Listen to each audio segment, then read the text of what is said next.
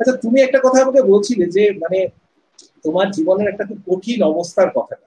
তোমার একটু আগে উত্তরটা করতেই আসছিল যে, তুমি জীবনে এমন একটা স্টেজে পৌঁছে গেছি মানে কি? মানে তোমার জীবনের সবচেয়ে সেই কঠিন মুহূর্তটা কি? এবং তারপরে সেই কঠিন মুহূর্তটাকে ওভারকাম করবার পরে, অতিক্রম করবার পরে, সবচেয়ে আনন্দের মুহূর্তটাই বা এটা হচ্ছে, দাদা, আমার কঠিন মুহূর্ত ছিল। আমি আমার জীবনে একবার ঠিক করেছিলাম, আমি অনার্সটা কমপ্লিট করব না। আমি কম্পিউটার সায়েন্সে পড়াশোনা করেছি তো আমি ভেবেছিলাম আমি অনার্স কমপ্লিট করব না। কেন কমপ্লিট করব না? তার পেছনে আমার যুক্তি ছিল আমি বিজনেস করতাম। আমার ইচ্ছে ছিল আমি বিজনেস ম্যান হব। আমার চাকরি করবার কোনো ইচ্ছে ছিল না। ইভেন আমি আমার লাইফে কোনো চাকরির পরীক্ষা দিইনি একটাই চাকরির পরীক্ষা দিয়েছি সেই চাকরিটা পেয়ে গেছি। তো আমি সবসময় ভেবেছি আমি বিজনেস করব। তো দাদা বিজনেস করতে হলে তো গ্রাজুয়েশন করতে হয় না এইচএসসি পাস করলেই চলে। ইভেন এইচএসসিও পাস করতে হয় না। আমি তো এইচএসসি পাস করা ছিলাম তো ভেবেছি আমি অনার্সটা কমপ্লিট করব না। তো অনার্সটা কমপ্লিট করব না সেটা আমার ভাবনা ছিল। কিন্তু এটার জন্য আমাকে প্রচুর কথা শুনতে হয়েছে। আর আমার বন্ধু বান্ধব আমাকে একেবারেই পাত্তা দিত না। আমি ফোন করলে কেউ ধরতো না। মানে ভাবতো আমার ফোন ধরার কি আছে? সুশান্তের ফোন ধরার কি আছে? এবং আমি আপনাকে জানাই আমাদের বিশ্ববিদ্যালয়ে স্টুডেন্টশিপ থাকে সাত বছরের জন্য। সাত বছর পরে স্টুডেন্টশিপ আচ্ছা। বাতিল হয়ে যায়। তো আমি অলরেডি আচ্ছা। তখন সাড়ে ছয় বছরের বেশি সময় কাটিয়ে ফেলেছি। প্রায় আচ্ছা। ধরুন আমি যদি সময়টা বলি তাহলে প্রায় সাড়ে ছয় বছর থেকে আরও দুই মাস বেশি কাটিয়ে ফেলেছি। অর্থাৎ আমার ছাত্রত্ব আছে তিন চার মাসের মতো এর বেশি নেই। তো আমি তখন একটা ঘটনা আমার লাইফের টার্নিং পয়েন্ট ছিল ওটা আমি পরে বলব। তো সেই ঘটনাটা আমাকে অ্যাকচুয়ালি বিসিএস পরীক্ষা দিতে উৎসাহিত করে সেই প্রসঙ্গে আমি পরে আসছি। তো তখন যখন আমি এই ধরনের একটা পাত্তাহীনতায় ভুগছিলাম। আমাকে কেউ পাত্তা দিচ্ছিল না, আমার ফোনটা পর্যন্ত কেউ রিসিভ করতো না। যখন কোনো গেট টুগেদার হতো, তখন কখনো সুশান্ত পালকে কেউ ইনভাইট করে নাই। সুশান্ত পালকে কেউ কখনো আসতে বলেনি সেখানে। তো সেই ধরনের একটা কষ্ট। এদিকে আবার আপনি তো জানেন দাদা, প্রতিবেশী, পাড়া প্রতিবেশী, আত্মীয় স্বজন, তারা তো বাবা মাকে কথা শোনায়। তো তোমার ছেলে কি করছে? তোমার ছেলে, আমি দাদা তখন গিফটের ব্যবসা করতাম। গিফটের ব্যবসা করতাম, আমার কোচিং সেন্টার ছিল, আমি কোচিং এর ব্যবসা করতাম। গিফটের ব্যবসা করতাম। আমি কিছু প্রোডাক্ট ইম্পোর্ট করে সাপ্লাই করতাম আর আমার শেয়ার মার্কেটে ইনভেস্টমেন্ট ছিল। এই কয়েকটা কাজ আমি করতাম। তো আমার টাকা পয়সায় কোনো সমস্যা ছিল না।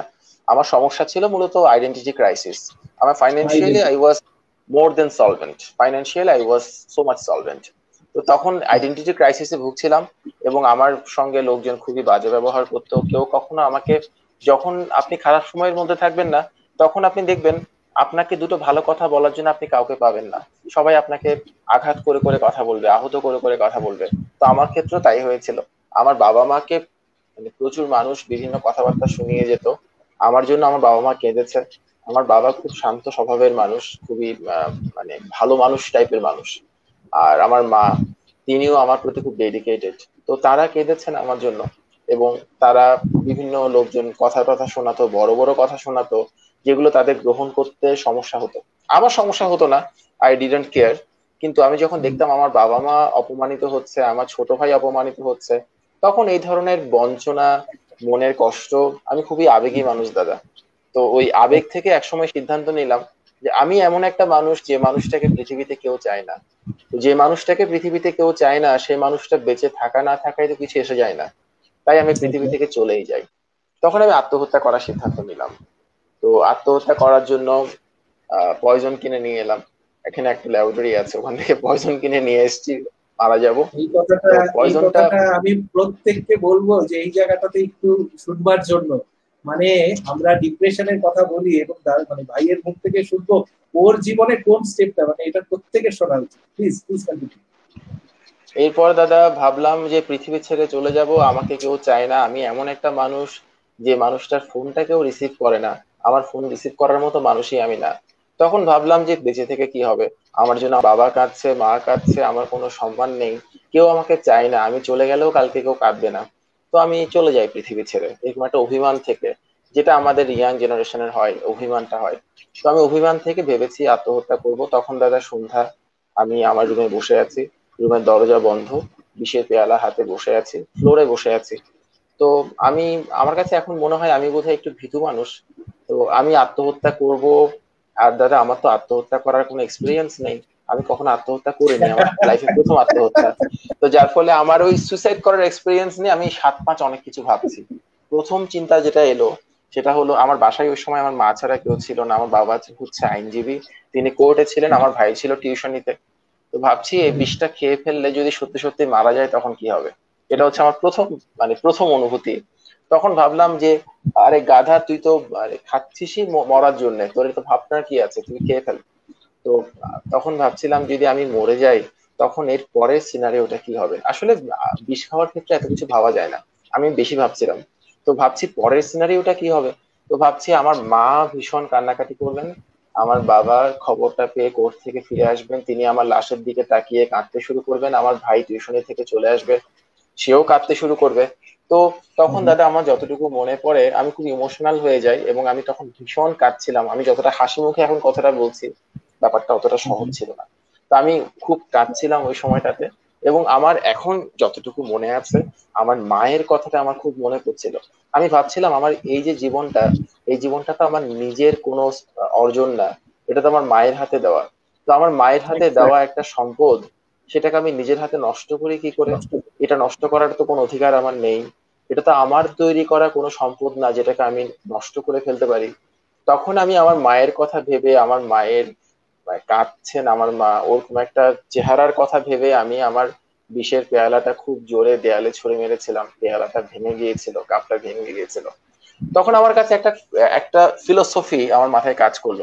ফিলোসফিটা হচ্ছে যে, ঠিক আছে, আমার বন্ধু বান্ধব আমার চাইতে প্রায় আড়াই বছর আগে পাশ করে বেরিয়ে গেছে। ইনফ্যাক্ট আড়াই বছরের চাইতেও বেশি। তো তাদেরকে আমি কখনো ছুঁতে পারব না। তাদের মতো মানুষ হওয়া আমার পক্ষে সম্ভব না। তারা সমাজের এক একজন উজ্জ্বল মানুষ হিসেবে বেঁচে আছেন। এবং আমি যদি বেঁচে থাকি, আমি একজন নবরী হিসেবে বেঁচে থাকব। কেউ আমাকে কখনো চিনবে না, কেউ আমাকে কখনো দুই পয়সার পাত্তা দিবে না। তখন আমি ভাবলাম যে, ঠিক আছে, সমাজের অন্য দশটা উজ্জ্বল মানুষ যেভাবে বেঁচে থাকে, আমি সেভাবে না হয় নাই বা বাঁচলাম। আমি একজন নৌবরি হয়ে একজন অনুজ্জ্বল মানুষ হিসেবে যাকে কেউ কখনো চিনবে না।